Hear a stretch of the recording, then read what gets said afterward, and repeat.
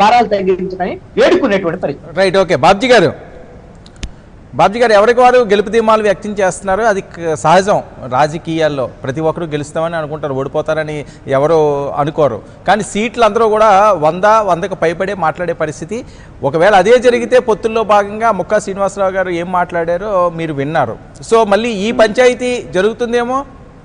అసలు ఆ పంచాయతీ ఉండదండి. మీకు ఇందాక చెప్పాను నేను. ఏమని చంద్రబాబు నాయుడు గారు ఒక సవాల్ చేసి బయటకు వచ్చేసారు అసెంబ్లీ నుంచి నేను ముఖ్యమంత్రిగానే అక్కడికి అడుగు పెడతాను. ఆయన ఎందుకు ఇస్తారండి దాన్ని? ఆలోచించండి ప్రజలు కూడా ఆలోచించండి మీరు కూడా ఉంటే నేను అదే అన్నాను ఆయన ఎందుకు ఇస్తారండి వాళ్ళ నమ్మకం అది కదా అలా అయితేనే కళ్యాణ్ సపోర్ట్ చేస్తారన్నట్టుగా మాట్లాడుతున్నారు కదా వాళ్ళు. వినండి సార్ పవన్ కళ్యాణ్ గారే ఆయన ఆల్రెడీగా ఒప్పేసుకున్నారు. ఒప్పుకున్నారా?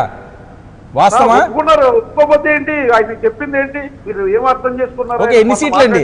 ఎన్ని సీట్లకి అయింది? సీట్లకి మీరు మా పట్టొట్టద్దు నేను నేను తీసుకునే నిర్ణయానికి మీరు అందరూ కట్టుబడి ఉండండి అని చెప్తాను మీరు అర్థం చేసుకోండి అది.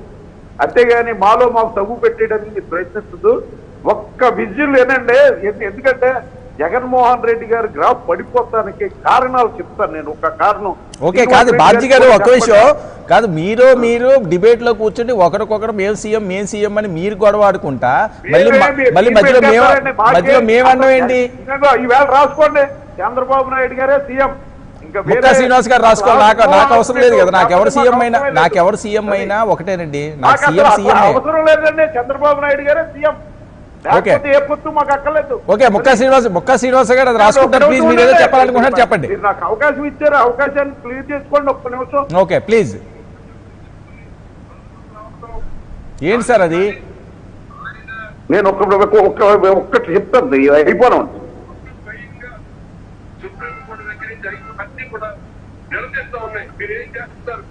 లక్షల కోట్లు వేల లక్షల కోట్లు మరి రోజు చేస్తే మీరు ఏం చేస్తారని అడుగుతా ఉన్నాయి అభిమానం మనకు గుండెల్లో ఉన్నప్పటికీ కూడా ఇవాళ జరుగుతున్న వాస్తవాన్ని తెచ్చుకోవాలి ఏ పార్టీ అయితే ఇవాళ తీవ్రంగా ప్రజలకి వెన్నుపోటు పడిచి అత్యంత దారుణంగా విడదీసేసి వాళ్ళ స్వార్థానికి వాళ్ళు ఉపయోగిస్తున్నారు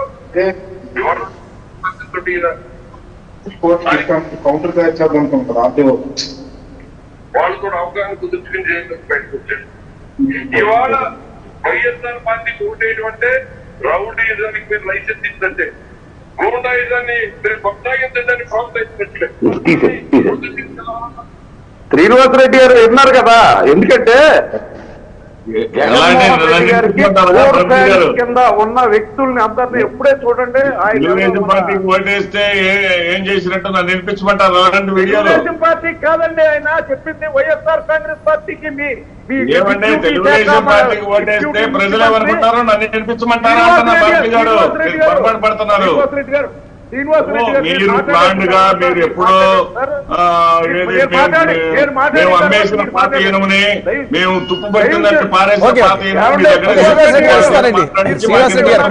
ఎవరికి అర్థం కాదు నేను ఇస్తాను మీకు ఒక్క నిమిషం నేను చెప్పేది విన- వినండి కారణాలు చెప్తాను వినండి ఇప్పుడు ఆయన చెప్పిన మాటలు విన్నారు కదా లక్షల కోట్లు దోచేసాడు అసలు వైఎస్ఆర్ కాంగ్రెస్ పార్టీ అప్పుడు జైల్లో జైల్లోకి వెళ్ళాడు జైల్లో ఉన్న వ్యక్తి అతను మా ఇది మా- ఇది ఏమన్నాడు? ఆ, పార్టీకి వెళ్ళాలంటే జైలుకి వెళ్ళాలి. జైలుకి వెళ్ళి మాట్లాడుకోవాలి. ఆ పార్టీలో రౌడీ రౌడీలకు కానీ గుండాలకు కానీ టిక్కెట్లు ఇస్తారు. వేరే వాళ్ళకి ఎవరు ఈవేళ కోటం రెడ్డి శ్రీధర్ లాంటి లాంటి ఫోర్ ఫ్యాన్స్ జగన్మోహన్ రెడ్డి గారికి ఉండేవాడు శ్రీనివాసరెడ్డి గారు మీరు ఏం అనుకోకండి. మీరు చెప్పింది ఏనండి అంటే అందరినీ కాదనుకుని ఓకే. ఇలాగ కన్నాలేసే వాళ్ళని తీసుకొచ్చి డిప్యూటీ ముఖ్యమంత్రిగా ఇచ్చాడు. ఏమని? జగన్మోహన్ రెడ్డిని బండ బూతులు తిట్టోళ్ళు. ఓకే ఓకే ఒక్క విషయం అండి. కాదు కాదు బాబ్జీ గారు. బాబ్జీ గారు ఇది అసందర్భం కానీ ఒక విషయం అండి ఒక విషయం అండి దయచేసి నా మాట వినండి. ఓకే మీరు చెప్పాలనుకున్నది ఓకే మీ ప్రాంతం కాబట్టి మీరు చెప్పాలనుకున్నది మీరు చెప్పారు. వినండి వినండి. నేను చెప్పింది మీరు వినండి ప్లీజ్. అది సామాన్యం అండి రాజకీయ నాయకుల్లో ఈ రకంగా అనరు అంటారు అన్నది తెలుగుదేశం పార్టీలో తిట్టిన పరిస్థితి లేదా? తెలుగుదేశం తెలుగుదేశం నాయకులు వెళ్ళిపోయిన వాళ్ళు తిట్టిన పరిస్థితి లేదా? బాబు గారు బాబు గారు బాబు గారు అంటే కాళ్ళు పట్టుకున్న వాళ్ళు ఆ తర్వాత నోటికి వచ్చిన తిట్టిన వాళ్ళు కొన్ని వందలు ఉంటాయి. అలాగే జనసేన పవన్ కళ్యాణ్ గారు తిట్టిన వాళ్ళు ఉంటుంది కేసీఆర్ గారు తిట్టిన వాళ్ళు ఉంటుంది మోదీ గారు తిట్టిన వాళ్ళు ఉంటుంది ఇదంతా కామన్ అండి. దీన్ని మనం ఏదో హైలైట్ చేసి ఒక ఒకరి మీద కాన్సెప్ట్ చేయాల్సిన అవసరం లేదు.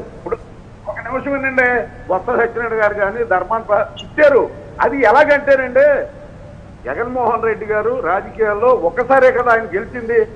ఒక్కసారే గెలిచినప్పుడు ఆయన ఎవరికి ప్రాధాన్యం ఇస్తారు అన్నది ప్రజలు అర్థం చేసుకున్నారు. కాబట్టి వీళ్ళ మీద ఇంత తీవ్రమైన వ్యతిరేకత ఇప్పుడు మీరే చెప్పారు.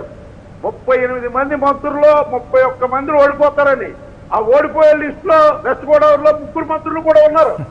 మీరు దాన్ని బట్టే చూసుకోండి మీరు. ఎందుకంటే ఎవరైతే బండ బూతులు తిట్టారో వాళ్ళని ఎంకరేజ్ చేసి నీ కోసం నీ రక్త మాంసాలు ఇదే ఈ డబ్బంతా ఖర్చు పెట్టుకుని నానా బాధలు పడిన అందరినీ గాలి వదిలేసి నువ్వు ఇలాంటి సన్నాసులను అందరినీ మంత్రులు చేస్తావు? రైట్ ఓకే అండి ఓకే ఓకే వాళ్ళు గెలిచాక వాళ్ళ పార్టీ వాళ్ళ ఇష్టమండి అది మీరు డిసైడ్ చేయకూడదు కదా. వాళ్ళు అలా అంటే తెలుగుదేశం పార్టీలో కూడా ఇలాంటి వాళ్ళు ఉన్నారని వాళ్ళు అంటారు. అవసరమా ఇప్పుడు? ఎవరుంటే ఏ- పార్టీకైనా వర్తిస్తుంది రైట్ ఓకే శ్రీనివాస్ రెడ్డి గారు